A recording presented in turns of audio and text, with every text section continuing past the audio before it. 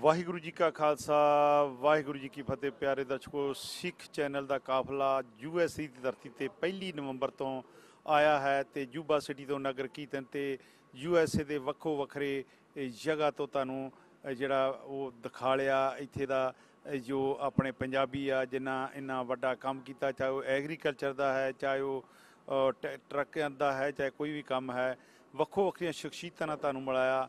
ਤੇ ਅੱਜ ਅਸੀਂ ਨਿਊਯਾਰਕ ਦੀ ਧਰਤੀ ਤੇ ਤੁਹਾਨੂੰ ਜਾਣ ਪਛਾਣ ਕਰਾ ਰਹੇ ਹਾਂ। ਸਰਦਾਰ ਗੁਰਿੰਦਰ ਸਿੰਘ ਗੁਰਿੰਦਰਪਾਲ ਸਿੰਘ ਜੀ ਜੋਸ਼ਨ ਹੋਣਾ ਦੇ ਨਾਲ ਜਿਨ੍ਹਾਂ ਨੇ ਕਿ ਬੜੀਆਂ ਘਾਲਣਾ ਕਾਲੀਆਂ ਔਰ ਇਹਨਾਂ ਨੇ ਇੱਕ ਸਿੱਖ ਇਨ ਅਮਰੀਕਾ ਨਾਂ ਦੀ ਸੰਸਥਾ ਵੀ ਬਣਾਈ।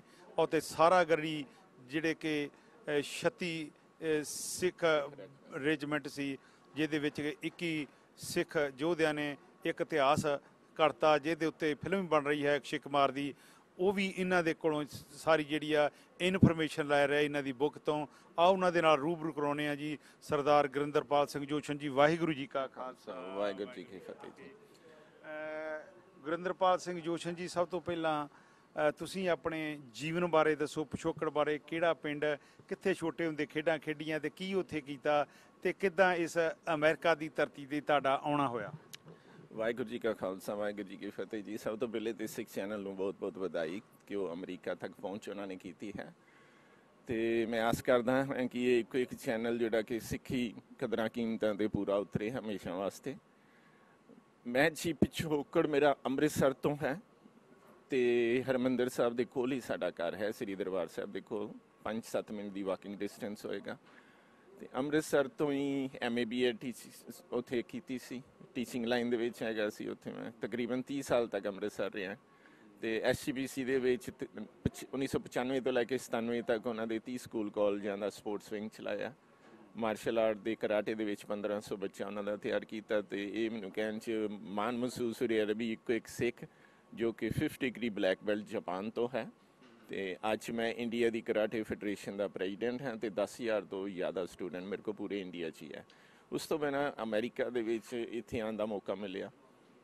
ਤੇ ਇੱਥੇ ਆ ਕੇ ਸਭ ਤੋਂ ਪਹਿਲੇ ਤੇ ਗੁਰਮਤ ਕੈਂਪ ਲਾਣੇ ਸ਼ੁਰੂ ਕੀਤੇ ਸਾਰੇ ਗੁਰਦੁਆਰਿਆਂ 'ਚ, ਹਰਭਜਨ ਸਿੰਘ ਦੇ ਜੋਗੀ, ਉਹਨਾਂ ਦੇ ਵੀ ਉੱਥੇ ਨਿਊ ਮੈਕਸੀਕੋ ਜਾ ਕੇ ਕੈਂਪ ਲਾਇਆ, ਇੱਥੇ ਮੈਰੀਲੈਂਡ, ਲੌਂਗ ਆਈਲੈਂਡ। ਤਕਰੀਬਨ 1500 ਤੋਂ ਲੈ ਕੇ 2000 ਦੇ ਕਰੀਬ ਇੱਥੋਂ ਦੇ ਬੱਚਿਆਂ ਨੂੰ ਮੈਂ ਟ੍ਰੇਨ ਕਰ ਚੁੱਕਾ ਸੈਲਫ ਡਿਫੈਂਸ ਟ੍ਰੇਨਿੰਗ 'ਚ।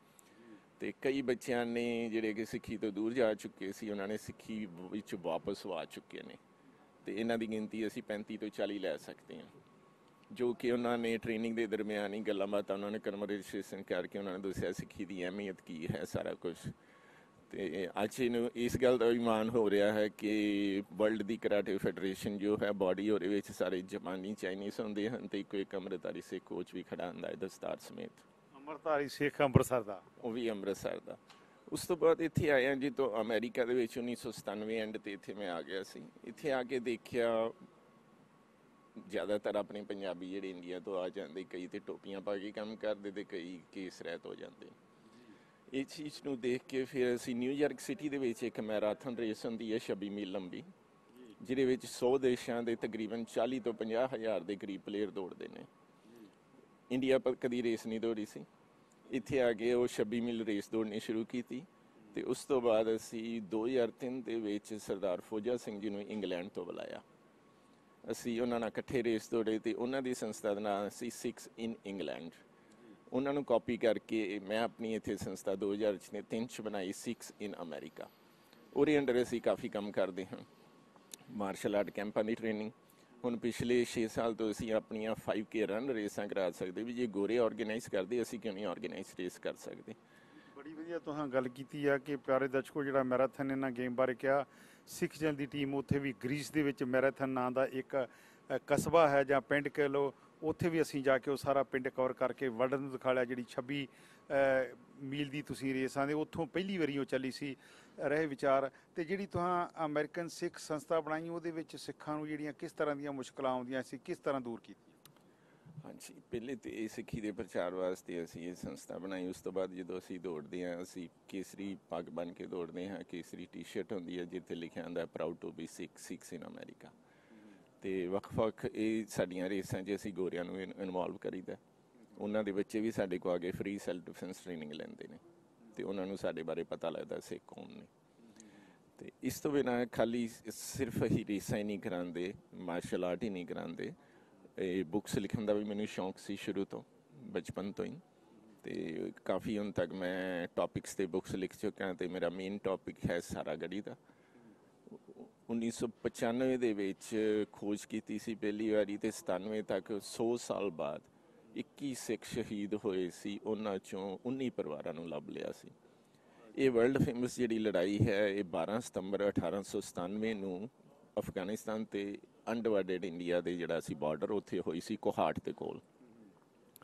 ਉਸ ਦੇ ਉੱਪਰ ਕਿਤਾਬਾਂ ਲਿਖੀਆਂ, ਦੋ ਤਿੰਨ ਐਡੀਸ਼ਨ ਛਪੇ ਬ੍ਰਿਟਿਸ਼ ਆਰਮੀ ਨੂੰ ਇੰਡੀਆ ਤੋਂ ਇੰਡੀਆ ਲਿਆਂਦਾ ਦੋ ਤਿੰਨ ਵਾਰੀ। ਇੰਗਲੈਂਡ ਚ ਅਮਰੀਕਾ ਵੀ ਆ ਕੇ ਉਹਨਾਂ ਨੇ ਮੇਰੀ ਬੁੱਕ ਰਿਲੀਜ਼ ਕੀਤੀ। ਹੁਣ ਇਹਦੇ ਤੇ ਦੋ ਤਿੰਨ ਫਿਲਮਾਂ ਬਣ ਰਹੀਆਂ ਹਨ। ਦੋ ਫਿਲਮਾਂ ਦੀ ਫਾਈਨਲਾਈਜੇਸ਼ਨ ਹੋ ਚੁੱਕੀ ਹੈ। ਇੱਕ ਰਣਵੀਰ ਰਣਵੀਰ ਹੁੱਡਾ ਦੂਸਰੀ ਅਕਸ਼ੇ ਕੁਮਾਰ ਦੀ। ਤੇ ਜੋਸ਼ਨ ਸਾਹਿਬ ਜੀ ਜਿਹੜੇ 21 ਸਿੰਘਾਂ ਨੇ ਜਿਹੜੇ ਜ਼ੋਰ ਦਿਖਾਲੇ ਉਹਨਾਂ ਬਾਰੇ ਵੀ ਬਰੀਫਲੀ ਇੱਕ ਦੋ ਮਿੰਟ ਦੇ ਵਿੱਚ ਦੱਸੋ ਕਿ ਕਿਸ ਤਰ੍ਹਾਂ ਉਹਨਾਂ ਨੇ ਦੁਸ਼ਮਣ ਦੇ ਛਿੱਕੇ ਛਡਾਏ ਤੇ ਕਿਉਂ ਵਰਲਡ ਦੇ ਵਿੱਚ ਜਿਹੜੇ ਆ ਜਿਹੜੇ ਫੇਮਸ ਹੋਏ। ਹਾਂਜੀ, ਉਹ ਵਰਲਡ ਦੇ ਵਿੱਚ ਫੇਮਸ ਇਸ ਕਰਕੇ ਸਿੱਖ ਜਦੋਂ ਵੀ ਲੜਦੇ ਲੜਾਈ ਦੇ ਮੈਦਾਨ 'ਚ ਉਹ ਕਿਸੇ, ਇਹ ਕਈ ਕਹਿੰਦੇ ਜੀ ਉਹ ਗੋਰਿਆਂ ਦੇ ਅੰਡਰ ਸੀ, ਉਹ ਗੋਰਿਆਂ ਦੇ ਗੁਲਾਮ ਹੋ ਕੇ ਲੜੇ, ਪਰ ਨਹੀਂ, ਇਹ ਗਲਤ ਆ। ਸਿੱਖ ਜਦੋਂ ਵੀ ਲੜਾਈ ਦੇ ਮੈਦਾਨ ਦੇ ਵਿੱਚ ਆ ਜਾਂਦੇ ਹਨ, ਉਹਨੂੰ ਗੁਰੂ ਗੋਬਿੰਦ ਸਿੰਘ ਜੀ ਲਈ ਲੜਦੇ ਨੇ, ਉਹ ਆਪਣੀ ਸਿੱਖੀ ਵਾਸਤੇ ਲੜਦੇ ਹਨ ਹਮੇਸ਼ਾ। ਉਹਨਾਂ ਨੂੰ ਪਤਾ ਸੀ ਵੀ 21 ਸਿੱਖਾਂ ਨੂੰ ਸਾਹਮਣੇ 10000 ਦੀ ਫੌਜ ਖੜੀ ਹੈ ਤੇ ਅਸੀਂ ਬਚਣਾ ਨਹੀਂ। ਉਹਨਾਂ ਨੂੰ ਇਹ ਆਫਰ ਵੀ ਆਈ ਵੀ ਤੁਸੀਂ ਚੌਂਕੀ ਖਾਲੀ ਛੱਕ ਕਰਕੇ ਚੱਲ ਜਾਓ, ਅਸੀਂ ਤੁਹਾਨੂੰ ਸੇਫ ਪੈਸੇ ਹੀ ਦੇ ਦਾਂਗੇ ਤੁਹਾਡੇ ਦੂਸਰੇ ਕਿਲੇ ਤੱਕ। ਪਰ ਉਹਨਾਂ ਨੇ ਰਿਫਿਊਜ਼ ਕਰ ਦਿੱਤਾ ਤੇ 21 ਸਿੱਖਾਂ ਨੇ ਸਵੇਰੇ 9 ਵਜੇ ਲੜਾਈ ਸ਼ੁਰੂ ਹੋਈ, ਸ਼ਾਮ 4 ਵਜੇ ਤੱਕ ਚੱਲੀ 7 ਘੰਟੇ ਲਗਾਤਾਰ ਲੜਾਈ ਦੇ ਵਿੱਚ। 400 ਦੇ ਕਰੀਬ ਮੁਸਲਮਾਨਾਂ ਨੂੰ ਢੇਰ ਕੀਤਾ। ਅਖੀਰ ਤੇ ਜਦੋਂ ਉਹਨਾਂ ਕੋਲ ਗੋਲੀ ਸਿੱਕਾ ਖਤਮ ਹੋ ਗਿਆ ਤਾਂ ਉਹਨਾਂ ਨੇ ਹੱਥੋਂ ਹੱਥੀ ਲੜਾਈ ਦੇ ਵਿੱਚ ਆਖਰੀ ਦਮ ਤੱਕ ਲੜਦੇ ਰਹੇ ਉਹ। ਤੇ ਇਸ ਚੀਜ਼ ਨੂੰ ਲੈ ਕੇ ਬ੍ਰਿਟਿਸ਼ ਪਾਰਲੀਮੈਂਟ ਦੇ ਵਿੱਚ 2 ਮਿੰਟ ਦਾ ਮੌਨ ਉਹਨਾਂ ਨੇ ਧਾਰਿਆ ਸੀ। ਤੇ ਉਹਨਾਂ ਨੇ ਇਸ ਦੀ ਯਾਦਗਾਰ ਇੰਗਲੈਂਡ ਦੇ ਵਿੱਚ ਵੀ ਬਣਾਈ ਹੋਈ ਹੈ ਵਾਰ ਮਿਊਜ਼ੀਅਮ ਦੇ ਵਿੱਚ ਇਹਦਾ ਸਿੱਖਾਂ ਦਾ ਇੱਕ ਬਣਿਆ ਹੋਇਆ ਹੈ, ਪੂਰਾ ਇੱਕ ਕੈਬਨ ਬਣਿਆ ਹੈ ਫਿਰ ਇਹਦੇ ਬਾਰੇ ਸੋਚਿਆ ਸੀ ਲਾਸਟ ਈਅਰ ਮੈਂ ਸੋਚਿਆ ਵੀ ਸਿੱਖਾਂ ਦੇ ਉਸ ਟਾਈਮ ਦੇ ਕਿਸੇ ਦਾ ਕੋਈ ਪੋਰਟਰੇਟ ਨਹੀਂ ਹੈਗਾ 21 ਸਿੱਖਾਂ ਦਾ। ਇਹ ਵਿਜ਼ਨ ਮਾਈਂਡ ਦੇ ਵਿੱਚ ਆਇਆ, ਕੁਦਰਤੀ ਕਹ ਲੋ ਉਹਨਾਂ ਦੇ ਫਿਰ ਪਰਿਵਾਰ ਜਿਹੜੇ ਲੱਭੇ ਸੀ, ਉਹਨਾਂ ਦੇ ਫੀਚਰਸ ਲੈ ਕੇ ਬੈਕਵਰਡ ਜਾ ਕੇ ਅਸੀਂ 21 ਸਿੱਖਾਂ ਦੇ ਪੋਰਟਰੇਟ ਤਿਆਰ ਕੀਤੇ। ਅੱਜ ਇੰਡੀਆ ਦੇ ਵਿੱਚ ਮੈਂ 6 ਲਾਇਬ੍ਰੇਰੀਆਂ ਬਣਾ ਚੁੱਕਾ ਹਾਂ। ਸਾਰਾ ਸਰਾਂਦ ਵਿੱਚ ਵੀ ਬਣ ਚੁੱਕੀ ਹੈ ਤੇ ਇਸ ਤੋਂ ਬਿਨਾਂ ਆਰਮੀ ਆਫੀਸਰਸ ਜਿੰਨੇ ਹੈਗੇ ਇੰਡੀਆ ਦਾ ਸਭ ਤੋਂ ਵੱਡਾ ਨਾਰਥ ਇੰਡੀਆ ਦਾ ਵਾਰ ਮਿਊਜ਼ੀਅਮ ਅੰਮ੍ਰਿਤਸਰ ਬਣਿਆ ਖਾਸੇ, ਜਿੱਥੇ ਕਿ 5000 ਸਾਲ ਦੀ ਹਿਸਟਰੀ ਨੂੰ ਇਕੱਠਾ ਕੀਤਾ ਗਿਆ। ਗੁਰੂ ਸਾਹਿਬਾਨ ਤੋਂ ਲੈ ਕੇ ਉਹ ਤੋਂ ਪਿਛੋਕਰ ਤੱਕ। ਜਿਸ ਤਰ੍ਹਾਂ ਤੁਸੀਂ ਇਹ ਸਾਰਾ ਦੇ ਸਿੰਘਾਂ ਦੀ ਬਹਾਦਰੀ ਦੇ ਕਿੱਸੇ ਸੁਣਾਏ ਆ, ਤੇ ਇਹ ਮੈਂ ਸੁਣਿਆ ਸੀ ਇਹਨਾਂ ਦਾ ਜਿਹੜਾ ਇਤਿਹਾਸ ਆ, ਉਹ ਵੀ ਪੜਾਇਆ ਜਾਂਦਾ, ਅੱਜ ਕੱਲ ਕਿ ਜਾਂ ਨਹੀਂ ਪੜਾਇਆ ਜਾਂਦਾ? ਹਾਂਜੀ, ਇਹ ਇਹਨਾਂ ਦਾ ਇਤਿਹਾਸ, ਫਰਾਂਸ ਵਗੈਰਾ ਕੇ ਉਹਨਾਂ ਮੁਲਕਾਂ 'ਚ ਪੜਾਇਆ ਜਾਂਦਾ ਸੀ, ਉਹ ਇਤਿਹਾਸ ਦੀ ਕਾਪੀ ਵੀ ਮੈਂ ਆਪਣੀ ਬੁੱਕ 'ਚ ਦੇ ਦਿੱਤੀ ਹੈ ਉਹ ਇਤਿਹਾਸ ਸਿਰਫ ਉਦੋਂ ਤੱਕ ਪੜਾਇਆ ਜਾਂਦਾ ਸੀ ਜਦੋਂ ਤੱਕ ਉਹ ਮੁਲਕਾਂ ਦੇ ਇੰਗਲੈਂਡ ਦੀ ਫੌਜ ਦਾ ਰਾਜ ਸੀ। ਜਦੋਂ ਖਤਮ ਹੋ ਗਿਆ, ਇਤਿਹਾਸ ਵੀ ਪੜਾਣਾ ਖਤਮ ਹੋ ਗਿਆ, ਇਹ ਆਨਲਾਈਨ ਅਜੇ ਵੀ ਮਿਲ ਜਾਂਦਾ ਪਰ ਉਹ ਬਿਲਕੁਲ ਝੂਠ ਆ। ਦੂਸਰੀ ਇੱਕ ਗੱਲ ਹੋਰ ਕਹਿ ਸਕਦੇ 1971 ਤੱਕ ਇੰਡੀਆ 'ਚ ਇਹਦਾ ਇਤਿਹਾਸ ਪੜਾਇਆ ਜਾਂਦਾ ਰਿਹਾ ਸੀ, ਮੇਰੇ ਪ੍ਰੋਫੈਸਰ ਖੁਦ ਪੜਾਉਂਦੇ ਸੀ। ਪਰ ਐਮਰਜੈਂਸੀ ਲੱਗਣ ਤੋਂ ਬਾਅਦ ਸਿਸਟਮੈਟਿਕਲੀ ਇਹ ਸਾਰੀ ਹਿਸਟਰੀ ਸਿਲੇਬਸ ਚੋਂ ਖਤਮ ਹੋ ਗਿਆ। ਹੁਣ ਕੋਈ ਇਤਿਹਾਸ ਨਹੀਂ ਪੜਾਇਆ ਜਾ ਰਿਹਾ। ਕੀ ਕਾਰਨ ਹੈ ਕਿ ਸਿੱਖਾਂ ਨੇ ਇੰਨੀਆਂ ਕੁਰਬਾਨੀਆਂ ਕੀਤੀਆਂ, ਚਾਹੇ ਉਹ ਵਰਲਡ ਵਾਰ ਸੀ, ਚਾਹੇ ਉਹ 21 ਸਿੰਘਾਂ ਦੀ ਸਾਰੀ ਗੜਾ ਦੀ ਗੱਲ ਲੈ ਲਈਏ, ਚਾਹੇ ਉਹ 71 ਦੀ ਲੜਾਈ ਸੀ ਜਾਂ 65 ਦੀ ਲੜਾਈ ਸੀ, ਇਹ ਜਿਹੜਾ ਇਹਨਾਂ ਦਾ ਇਤਿਹਾਸ ਸਗੋਂ ਜਗ ਜ਼ਾਹਰ ਕਰਨਾ ਚਾਹੀਦਾ ਵਾ, ਜਿੱਦਾਂ ਗੋਰਿਆਂ ਨੇ ਇੱਕ ਆਪਣੇ ਰਾਜਕਾਲ ਦੇ ਵਿੱਚ ਇਹਨਾਂ 21 ਸਿੰਘਾਂ ਦਾ ਇਤਿਹਾਸ ਪੜ੍ਹਾਈ ਰੱਖਿਆ, ਜਦੋਂ ਤੱਕ ਉਹ ਰਾਜ ਕਰਦੇ। ਕੀ ਕਾਰਨ ਅੱਜ ਕੱਲ ਸਿੰਘਾਂ ਦਾ ਜਿਹੜਾ ਇਤਿਹਾਸ ਆ, ਕਿਤੇ ਨਾ ਕਿਤੇ ਉਹਨੂੰ ਖੋਰਾ ਨਹੀਂ ਲੱਗਦਾ ਜਾ ਰਿਹਾ? ਹਾਂਜੀ, ਬਿਲਕੁਲ ਲੱਗ ਰਿਹਾ ਇਸ ਗੱਲ ਪਹਿਲੀ ਗੱਲ ਤੇ ਹਰ ਸਿੱਖ ਦਾ ਫਰਜ਼ ਬਣਦਾ ਵੀ ਆਪਣੇ ਇਤਿਹਾਸ ਨੂੰ ਖੁਦ ਸੰਭਾਲੇ। ਸਿਰਫ ਇਹੀ ਐਸਜੀਪੀਸੀ ਜਾਂ ਦਿੱਲੀ ਕਮੇਟੀ ਤੇ ਗੱਲਾਂ ਨਾ ਸੁੱਟਦੀ ਹੈ।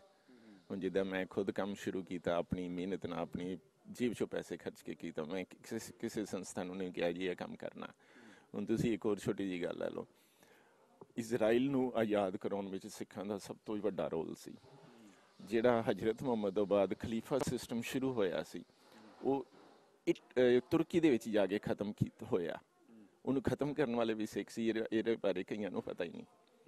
1915 ਤੋਂ ਲੈ ਕੇ 18 ਤੱਕ ਜਿਹੜੀ ਵਰਲਡ ਵਾਰ ਫਸਟ ਹੋਈ ਸੀ, ਸਿੱਖਾਂ ਦੀ ਫੌਜ ਤਕਰੀਬਨ ਇੰਡੀਆ ਤੋਂ 1.5 ਲੱਖ ਦੇ ਕਰੀਬ ਸੀ, ਟੋਟਲ ਆਰਮੀ ਤੇ 90000 ਤੋਂ ਜ਼ਿਆਦਾ ਸਿੱਖ ਸੀ, ਬ੍ਰਿਟਿਸ਼ ਆਰਮੀ 'ਚ।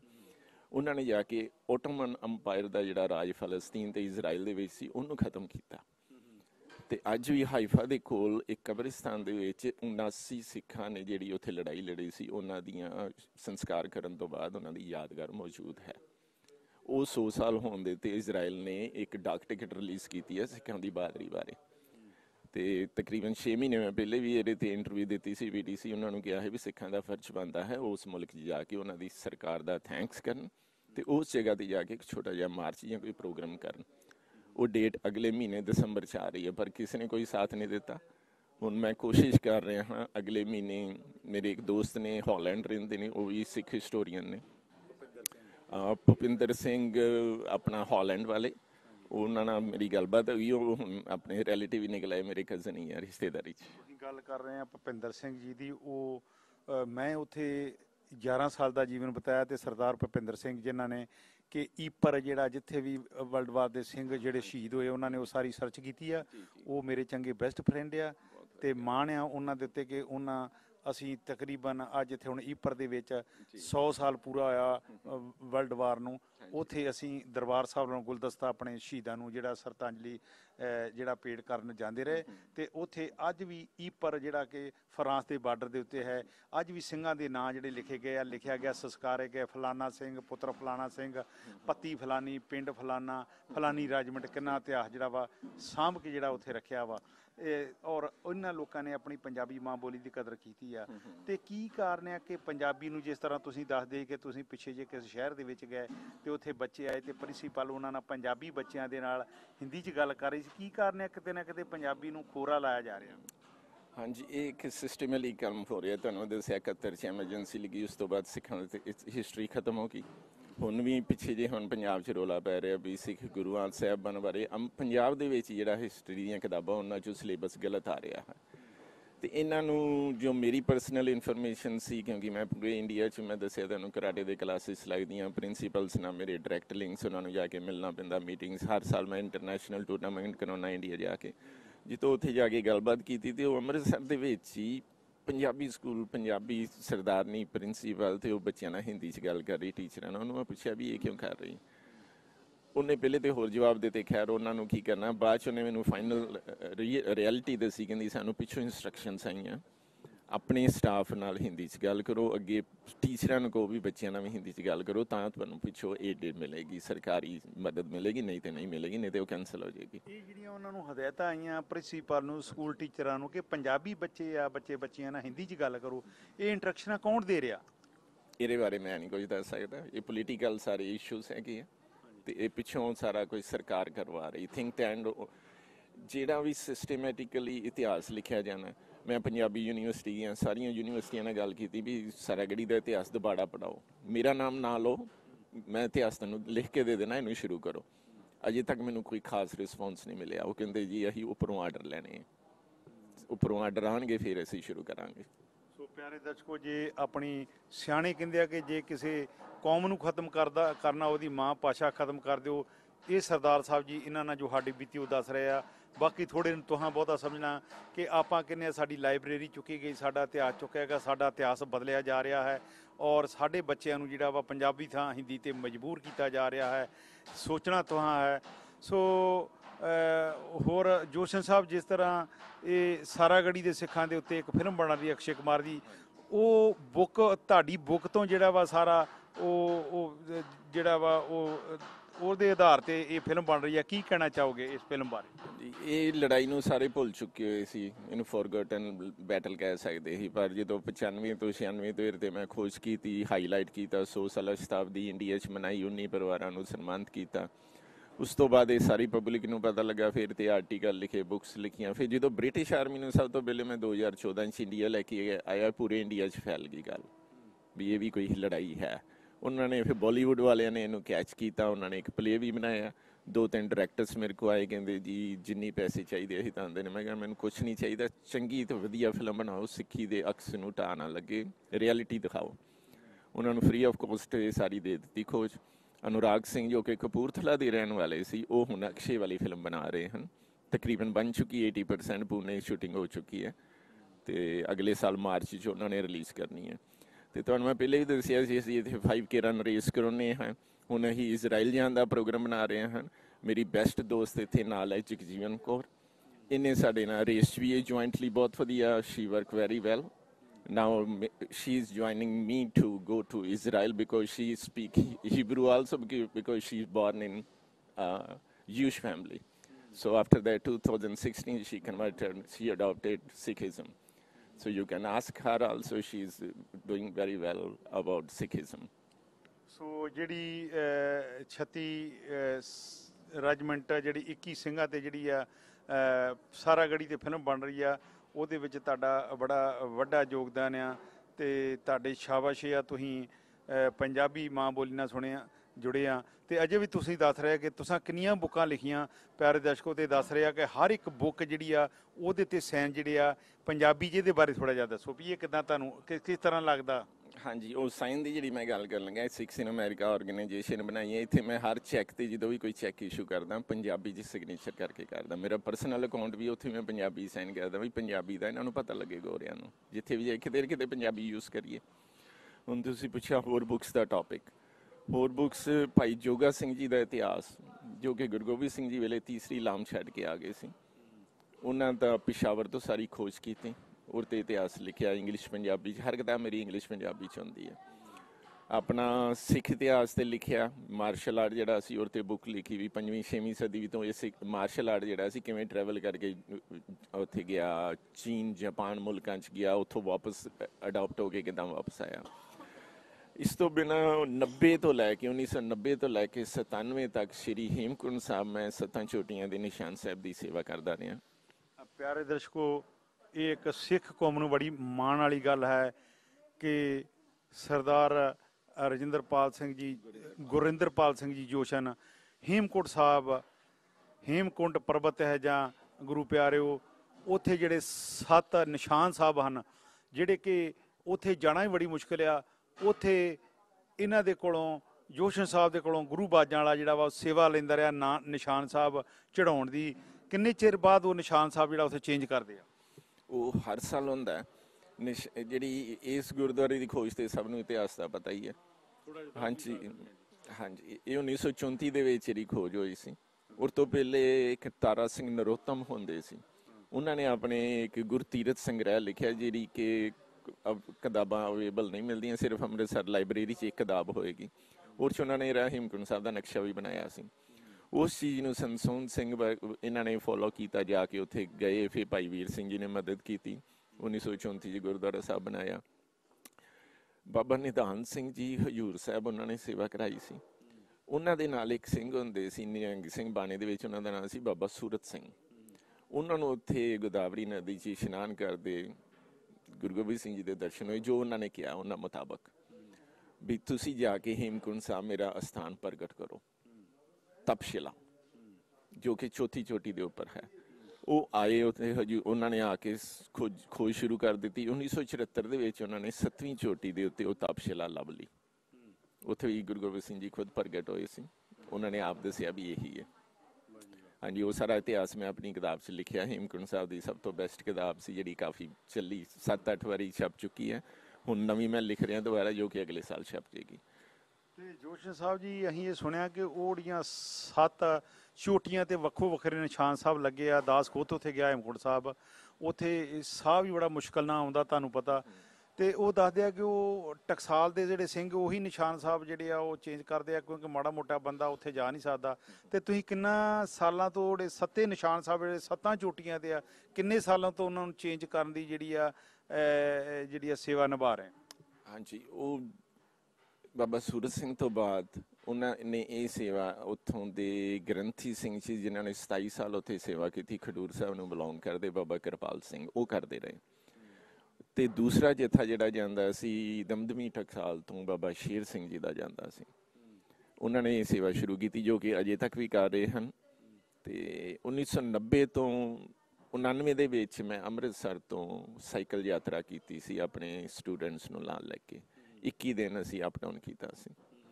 ਤੇ ਉਸ ਯਾਤਰਾ ਤੋਂ ਬਾਅਦ ਇਹ ਮਨ 'ਚ ਖਿਆਲ ਆਇਆ ਵੀ ਕਿਉਂ ਨਾ ਇਹ ਨਿਸ਼ਾਨ ਸਾਹਿਬ ਦੀ ਸੇਵਾ ਕੀਤੀ ਜਾਏ।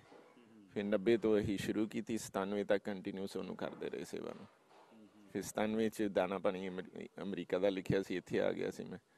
ਤੇ ਹੁਣ ਅਸੀਂ ਪਿਛਲੇ ਐਸੇ ਸਾਲ ਸਤੰਬਰ ਚ ਮੈਂ ਦੁਬਾਰਾ ਉੱਥੇ ਗਿਆ। ਤੇ ਸਤਵੀਂ ਚੋਟੀ ਤੇ ਅਸੀਂ ਦੁਬਾਰਾ ਨਿਸ਼ਾਨ ਸਾਹਿਬ ਚਲਾ ਕੇ ਆਏ ਸ਼ੇਰ ਸਿੰਘ ਜੀ ਨਾਲ ਮੁਲਾਕਾਤ ਹੋਈ ਸਾਰੇ ਉੱਥੇ ਸੀ। ਕਿੰਨੇ ਸਿੰਘ ਗਏ ਸੀ ਹੁਣ ਤੁਸੀਂ? ਅਸੀਂ ਇਸ ਵਾਰੀ 8 ਜਣੇ ਗਏ ਸੀ। ਤੇ ਹਾਂਜੀ। ਤੇ ਇੱਕ ਮੈਂ ਹੋਰ ਪੁੱਛਣਾ ਚਾਹੁੰਦਾ ਜਿਸ ਤਰ੍ਹਾਂ ਤੁਸੀਂ ਦੱਸਿਆ ਕਿ ਤੁਸੀਂ ਇੰਨੀਆਂ ਬੁੱਕਾਂ ਲਿਖੀਆਂ ਪਰ ਜਿਹੜੇ ਤੁਹਾਡੇ ਸੈਨ ਆ ਉਹ ਪੰਜਾਬੀ ਚ ਹੁੰਦੇ ਆ। ਇਸ ਵਕਤ ਸਾਡੇ ਵੀਰ ਵੇਖ ਰਹੇ ਆ, ਕੀ ਕਾਰਨ ਆ ਕਿ ਅਸੀਂ ਜਿਹੜੀ ਆ ਪੰਜਾਬੀ ਨਾਲੋਂ ਦੂਜੀਆਂ ਬੋਲੀਆਂ ਨੂੰ ਜ਼ਿਆਦਾ ਮਾਨਤਾ ਦਿੰਦੇ ਕਿਉਂਕਿ ਹਰ ਇੱਕ ਬੋਲੀ ਸਿੱਖਣੀ ਚਾਹੀਦੀ ਆ, ਹਰ ਇੱਕ ਇਤਿਹਾਸ ਦਾ ਆਪਾਂ ਨੂੰ ਨੌਲੇਜ ਹੋਣੀ ਚਾਹੀਦੀ ਆ। ਕੀ ਕਾਰਨ ਹੈ ਕਿ ਆਪਾਂ ਆਪਣੀ ਮਾਂ ਬੋਲੀ ਨੂੰ ਛੱਡ ਕੇ ਦੂਜੀਆਂ ਬੋਲੀਆਂ, ਜਿੱਥੇ ਚਲੋ ਦੋ ਚਾਰ ਬੈਠੇ ਹੋਣ ਵਿੱਚ ਗੋਰੀ ਇੰਗਲਿਸ਼ ਬੋਲਣੀ ਚਾਹੀਦੀ, ਜਿੱਥੇ ਆਪਾਂ 10 ਦਾ 20 20 ਆਪਣੇ ਜਿਹੜੇ ਪੰਜਾਬੀ ਮੁੰਡੇ ਬੈਠੇ ਹੁੰਦੇ ਆ ਜਦੋਂ ਉਹ ਵੀ ਬਹਿੰਦੇ ਆ ਤੇ ਉਹ ਇੰਗਲਿਸ਼ 'ਚ ਗੱਲ ਕਰਦੇ ਇਹਦਾ ਮਤਲਬ ਆ ਕਿ ਅਸੀਂ ਜ਼ਰੂਰ ਪੰਜਾਬੀ ਨੂੰ ਮਾੜਾ ਸਮਝਦੇ ਆ ਜਿਹੜਾ ਕਿ ਅਸੀਂ ਪੰਜਾਬੀ ਬੋਲੀ ਦੀ ਜਿਵੇਂ ਗੱਲ ਕਰਨੀ ਚੰਗੀ ਨਹੀਂ ਸਮਝਦੇ। ਇਹਦੇ ਬਾਰੇ ਕੀ ਕਹਿਣਾ ਚਾਹੋਗੇ ਜੋ ਅੱਜ ਕੱਲ ਹੋ ਰਿਹਾ? ਹਾਂਜੀ, ਇਹ ਸਾਡੀ ਆਪਣੀ ਕਮਜ਼ੋਰੀ ਹੈ ਭਾਈ ਸਾਹਿਬ ਜੀ। ਅਮਰੀਕਾ ਦੇ ਵਿੱਚ ਤੁਸੀਂ ਇਹ ਨਹੀਂ ਬੈਠੇ ਹੋਏ ਚਾਈਨੀਜ਼ ਜਿੰਨੇ ਹੈਗੇ ਉਹ ਆਪਸ 'ਚ ਗੱਲ ਕਰਨਗੇ, ਹਮੇਸ਼ਾ ਚਾਈਨੀਜ਼ ਭਾਸ਼ਾ 'ਚ ਕਰਦੇ ਆ। ਈਵਨ ਸਾਡੇ ਗੁਜਰਾਤੀ ਆਪਸ 'ਚ ਕਰਦੇ ਆ, ਚ- ਗੁਜਰਾਤੀ ਭਾਸ਼ਾ 'ਚ। ਜੇ ਕੋਈ ਗੋਰਾ ਆਏਗਾ, ਫੇਰ ਇੰਗਲਿਸ਼ ਬੋਲਦੇ ਆ। ਸਾਡੇ ਪੰਜਾਬੀਆਂ 'ਚ ਇਹ ਮਾੜੀ ਆਦਤ ਆ, ਅਸੀਂ ਇੱਕ ਗੋਰਾ ਆ ਜੇ ਸਾਰੇ ਇੰਗਲਿਸ਼ ਬੋਲਣੀ ਸ਼ੁਰੂ ਕਰ ਦਿੰਦੇ ਸਾਡੇ ਬੱਚੇ ਟੋਟਲੀ ਇੰਗਲਿਸ਼ ਬੋਲਦੇ ਆ। ਪਰ ਮੈਂ ਆਪਣੇ ਘਰ ਦਾ ਮਾਹੌਲ ਇਦਾਂ ਦਾ ਰੱਖਿਆ, ਕਿਸੇ ਬੱਚੇ ਨੂੰ ਇੱਕ ਲਫ਼ਜ਼ ਇੰਗਲਿਸ਼ ਦਾ ਨਹੀਂ ਬੋਲਣ ਦਿੰਦਾ। ਜੇ ਕੋਈ ਸਵਾਲ ਕਰਦਾ ਹੀ ਉਹਨੂੰ ਜਵਾਬ ਨਹੀਂ ਦੇਈਦਾ। ਇਹ ਕੀ ਕਾਰਨ ਹੈ? ਆਪਣੇ ਆਪ ਨੂੰ ਬਹੁਤ ਜ਼ਿਆਦਾ ਹੀ ਜਿਹੜਾ ਵਾ ਹਾਈ ਫਾਈ ਸਮਝਦੇ ਆ, ਉਹ ਤੇ ਗੋਰਾ ਆ ਗਿਆ ਇੰਗਲਿਸ਼ ਬੋਲੋ। ਜਿੱਥੇ ਆਪਣੇ 5 ਜਾਂ 10 ਜਾਂ 15 ਪੰਜਾਬੀ ਬੈਠੇ ਹੁੰਦੇ ਆ ਉਹ ਕਿਉਂ ਆਪੋ ਵਿੱਚ ਇੰਗਲਿਸ਼ ਨਹੀਂ ਬੋਲ ਕੇ ਖੁਸ਼? ਹਾਂਜੀ, ਉਹ ਬਿਲਕੁਲ ਹੀ ਗਲਤ ਹੋ ਸਮਝਦੇ ਜੀ, ਇਹ ਭਾਸ਼ਾ ਦੇ ਨਾਲ ਸਾਡਾ ਸਟੈਂਡਰਡ ਨਹੀਂ ਬਣਦਾ। ਹੁਣ ਤੁਸੀਂ ਪੰਜਾਬ ਦੇ ਵਿੱਚ ਲੈ ਲਓ, ਇੱਕ ਭਈਆ, ਇੱਕ ਅਸੀਂ ਰੱਖਦੇ ਆ ਘਰ ਦੇ ਵਿੱਚ ਕੰਮ ਕਰਨ ਲਈ ਪਿੰਡਾਂ 'ਚ। ਉਹ ਭਈਏ ਨੂੰ ਪੂਰਾ ਪਰਿਵਾਰ 8-10 ਜੀ ਪੰਜਾਬੀ ਨਹੀਂ ਸਿਖਾ ਸਕਦੇ, ਭਈਆ ਸਾਰਿਆਂ ਨੂੰ ਹਿੰਦੀ ਸਿਖਾ ਦਿੰਦਾ। ਇਹਦਾ ਕਮਜ਼ੋਰੀ ਸਾਡੀ ਆ। ਅਸੀਂ ਉਹਨੂੰ ਕਿਉਂ ਨਹੀਂ ਇੱਕ ਜਣੇ ਨੂੰ ਹਿੰਦੀ, ਪੰਜਾਬੀ ਸਿਖਾ ਸਕਦੇ? ਤੇ ਸਕੂਲਾਂ ਦੇ ਵਿੱਚ ਤੁਹਾਨੂੰ ਪਹਿਲੇ ਹੀ ਦੱਸ ਦਿੱਤਾ, ਹਿੰਦੀ ਸ਼ੁਰੂ ਹੋ ਚੁੱਕੀ ਹੈ ਬੱਚੇ ਘਰ ਜਾ ਕੇ ਹਿੰਦੀ ਚ ਬੋਲਦੇ ਆ ਹੌਲੀ ਹੌਲੀ ਪੰਜਾਬੀ ਨੂੰ ਉਹ ਖਤਮ ਕਰਨ ਦੀ ਕੋਸ਼ਿਸ਼ ਕਰ ਰਹੇ ਆ। ਤੇ ਇਹਨੂੰ ਬਚਾ ਅਸੀਂ ਸਕਦੇ ਆ ਆਪਣੇ ਘਰ ਤੋਂ ਸ਼ੁਰੂ ਕਰੀਏ। ਸੋ ਕੋਈ ਇਹੋ ਜਿਹਾ ਕੁਐਸਚਨ ਤੁਸੀਂ ਕੋਈ ਕਰਨਾ ਚਾਹੋ? ਸਵਾਲ ਜਿਹੜਾ ਮੇਰੇ ਕੋਲ ਨਾ ਪੁੱਛਿਆ ਗਿਆ ਹੋਵੇ। ਨਹੀਂ ਤੁਸੀਂ ਤਕਰੀਬਨ ਹਰ ਚੀਜ਼ ਪੁੱਛ ਸਕਦੇ ਜੇ। ਮੈਂ ਇੱਕ ਨਾਰਮਲ ਬੰਦਾ ਸਿੰਪਲ ਆਦਮੀ ਹਾਂ। ਕੋਈ ਖਾਸ ਗੁਣ ਨਹੀਂ ਮੇਰੇ ਵਿੱਚ ਪਰ ਕੋਸ਼ਿਸ਼ ਕਰੀਦੀ ਹੈ ਕੰਮ ਵੱਧ ਤੋਂ ਵੱਧ ਕਰੀਏ। ਹਰ ਸਿੱਖ ਦਾ ਫਰਜ਼ ਬੰਦਾ ਜ਼ਰੂਰੀ ਨਹੀਂ ਵੀ ਅਸੀਂ ਕਿਸੇ ਸੰਸਥਾ ਨੂੰ ਕਹੀਏ ਵੀ ਆਹ ਕੰਮ ਤੂੰ ਕਰਨਾ। ਹੁਣ ਜਿੱਦਾਂ ਮੈਂ ਇਜ਼ਰਾਈਲ ਦੀ ਮੈਨੂੰ ਥੋੜੀ ਜਿਹੀ ਪਤਾ ਲੱਗੀ ਗੱਲ, ਮੈਂ ਕਿਹਾ ਖੁਦ ਇਹ ਕੰਮ ਕਰਨਾ। ਮੈਂ ਸੰਸਥਾ ਚਲਾਉਣਾ ਪਰ ਕਦੀ ਕਿਸੇ ਕੋਈ ਇੱਕ ਰੁਪਈਆ ਨਹੀਂ ਲਿਆ। ਆਪਣੀ ਜੇਬ ਚੋਂ ਕੰਮ ਕਰੀਦਾ, ਮੈਂ ਪਹਿਲੇ ਤਿੰਨ ਤਿੰਨ ਜੋਬਾਂ ਕਰਦਾ ਸੀ, ਦੋ ਜੋਬਾਂ ਦੇ ਸਾਰੇ ਪੈਸੇ ਸਿਰ ਤੇ ਲਾ ਦਿੰਦਾ ਸੀ। ਸਾਰਾ ਗੜੀ ਦੀ ਜਿਹੜੀ ਪਿੱਛੇ ਹੁਣ ਮੈਂ ਫੰਕਸ਼ਨ ਇੰਡੀਆ ਕਰਕੇ ਆਇਆ, ਤਕਰੀਬਨ 10 ਲੱਖ ਤੋਂ ਜ਼ਿਆਦਾ ਮੈਂ ਖਰਚੇ। ਛੇ ਜਗ੍ਹਾ ਦੇ ਪੋਰਟਰੇਟ ਬਣਾ ਕੇ ਦਿੱਤੇ। ਤੇ ਇੱਕ 4 ਲੱਖ ਰੁਪਏ ਦਾ ਤੇ ਇੱਕ ਮਾਡਲ ਹੀ ਇਹਦਾ ਤਿਆਰ ਕੀਤਾ ਜੋ ਕਿ ਉੱਥੇ ਸਰਾਂ ਦੇ ਵਿੱਚ ਦੇ ਦਿੱਤਾ ਉਹਨਾਂ ਨੂੰ। ਇਹ ਸਾਰੇ ਵੈਸੇ ਜੇਬ ਚ ਮੈਂ ਖਰੀਦਾਂ ਕਦੀ ਕਿਸੇ ਕੋ ਕੁਝ ਨਹੀਂ ਮੰਗਿਆ। ਤੇ ਹਰ ਸਿੱਖ ਦਾ, ਇਹ ਸਾਰੀਆਂ ਚੀਜ਼ਾਂ ਮੈਨੂੰ ਸਿਖਾਈਆਂ ਹੈ ਭਗਤ ਪੂਰਨ ਸਿੰਘ ਜੀ ਨੇ। ਜਦੋਂ ਅੰਮ੍ਰਿਤਸਰ ਸਕੂਲ ਚ ਹੀ ਪੜਦਾ ਸੀ ਤੇ ਸਾਰਾ ਗੜੀ ਅਸੀਂ ਸੇਵਾ ਸ਼ੁਰੂ ਕੀਤੀ ਸੀ, ਉਹ ਰੋਜ਼ ਉੱਥੋਂ ਲੰਘਦੇ ਹੁੰਦੇ ਸੀ। ਦਰਬਾਰ ਸਾਹਿਬ ਤੋਂ ਆਪਣਾ ਪਿੰਗਲਵਾੜੇ ਜਾਣ ਲਈ, ਉਹ ਫਿਰ ਮੈਨੂੰ ਕਹਿੰਦੇ ਹੁੰਦੇ ਸੀ ਵੀ ਇਹ ਕੰਮ ਵਧੀਆ, ਪਰ ਇਹੋ ਜਿਹੇ ਕੰਮ ਕਰੋ ਵੀ ਜਿਹੜਾ ਹੋਰ ਕੋਈ ਨਾ ਕਰ ਸਕੇ। ਕਿਸੇ ਦੀ ਮਦਦ ਦੀ ਉਡੀਕ ਨਾ ਕਰੋ ਜੇ ਤੁਸੀਂ ਸੋਚਦੇ ਹੋ ਕੰਮ ਚੰਗਾ ਤੇ ਸ਼ੁਰੂ ਕਰ ਦੋ ਉਹਨੂੰ ਤੇਰਾ ਬਾਪੇ ਸਾਥ ਦੇਗਾ। ਉਸੇ ਆਧਾਰ ਬਣਾ ਕੇ ਕੰਮ ਕਰ ਰਿਹਾ ਮੈਂ। ਸੱਚੇ ਮਾਰਗ ਚੱਲਦੇ ਆ ਉਸਤਤ ਕਰੇ ਜਹਾਨ। ਸੋ ਜੋਸ਼ਨ ਸਾਹਿਬ ਜੀ ਅਖੀਰ ਦੇ ਵਿੱਚ ਇਸ ਵਕਤ ਤੁਹਾਨੂੰ ਵਰਲਡ ਵਾਈਡ ਵੇਖਿਆ ਜਾ ਰਿਹਾ ਕੀ ਮੈਸੇਜ ਦੇਣਾ ਚਾਹੋਗੇ ਦੁਨੀਆ ਦੇ ਲੋਕਾਂ ਨੂੰ? ਪਹਿਲੀ ਗੱਲ ਤੇ ਮੈਂ ਇਸ ਕਾਬਲ ਨਹੀਂ ਹੈਗਾ ਮੈਂ ਕਿਸੇ ਨੂੰ ਮੈਸੇਜ ਦੇ ਸਕਾਂ।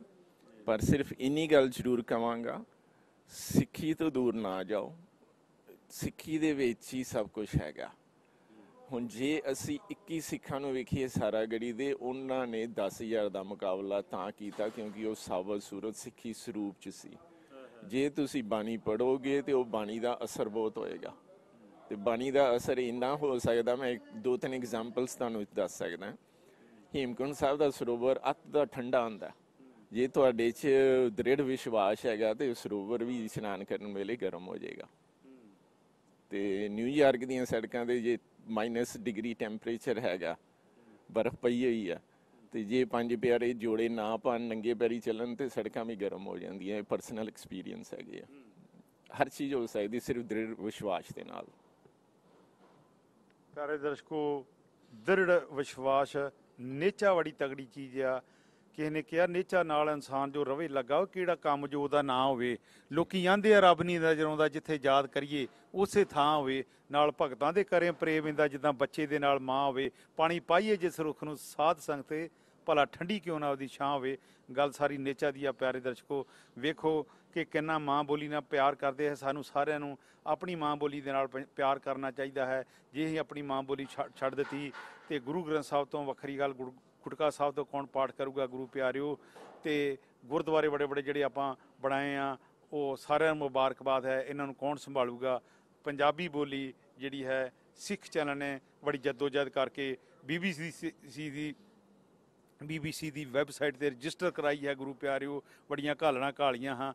ਤੇ ਇਹਨੂੰ ਆਪਾਂ ਜਿੰਦਾ ਰੱਖਣਾ ਹੈ, ਹਰ ਹਾਲਤ ਦੇ ਉੱਤੇ, ਗੁਰੂ ਪਿਆਰਿਓ, ਸਾਡੇ ਦੁਸ਼ਮਣਾਂ ਦੀਆਂ ਸ਼ਾਸ਼ਾਨ ਕਿ ਪੰਜਾਬੀ ਬੋਲੀ ਨੂੰ ਖੋਰਾ ਲਾਇਆ ਜਾਵੇ, ਪਰ ਗੁਰੂ ਨਾਨਕ ਸਾਹਿਬ ਨੇ ਕਿਰਪਾ ਕੀਤੀ ਹੈ, ਗੁਰੂ ਪਿਆਰਿਓ, ਜਿਹੜੀ ਗੁਰੂ ਨਾਨਕ ਦੀ ਫਰਵਾੜੀ ਲਾਈ ਆ, ਇਹਨੂੰ ਅਹਿਮਦ ਸ਼ਾਹ ਅਬਦਾਲੀ ਖਤਮ ਕਰਨ ਦੀ ਕੋਸ਼ਿਸ਼ ਕਰਦਾ ਰਿਹਾ। ਜ਼ਕਰੀਆ ਖਾਂ, ਮਹਿਮੂਦ ਗਜਨਵੀ ਹੋਰ ਵੀ ਸਿੱਖ- ਸਿੱਖੀ ਦੇ ਦੁਸ਼ਮਣ ਆਏ।